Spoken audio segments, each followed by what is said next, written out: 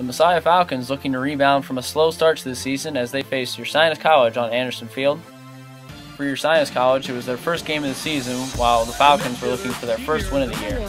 The Falcons got on the board first as Drew Pagenkopf passed to Chris Bry for the first goal. However, your Ursinus would control the rest of the game as they scored the next eight goals.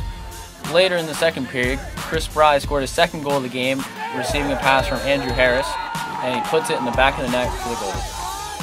Ursinus would go on to win 15 to 2. The Falcons look to get their first win of the season when they face Goucher College next week on March 12th.